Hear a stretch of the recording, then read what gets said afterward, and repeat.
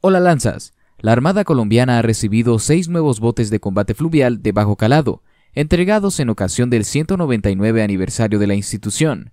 Estas embarcaciones fueron diseñadas y construidas por el artillero local Cotecmar, dentro de un proceso de potenciación de las capacidades fluviales de la Armada financiado con recursos del Fondo Nacional de Seguridad, FONSECON.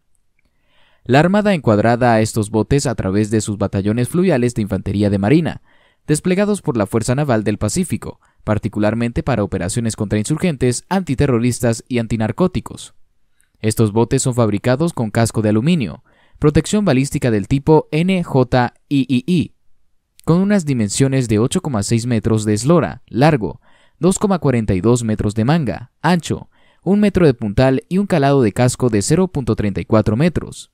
Las unidades pueden desplazarse a velocidades máximas de 24 kilómetros mediante dos motores Mercury Pro de 90 CV y con una autonomía de hasta 300 kilómetros.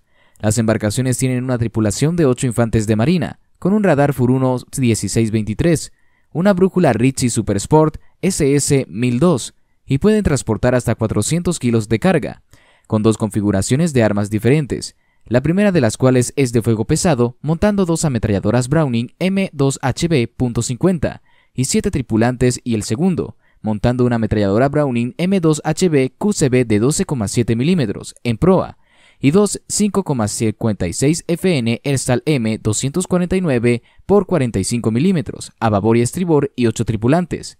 En total, se ha proyectado a construcción de 24 unidades de estos barcos y el BCFL, contratados por el gobierno colombiano, que ha invertido cerca de 2 millones de dólares, con el fin de ampliar sustancialmente las capacidades operativas de la Armada colombiana en los principales ríos de Colombia. Y bueno, Lanzas, hemos llegado al final. No olvides de seguirnos y dejarnos un buen like. Hasta la próxima y que Dios los bendiga.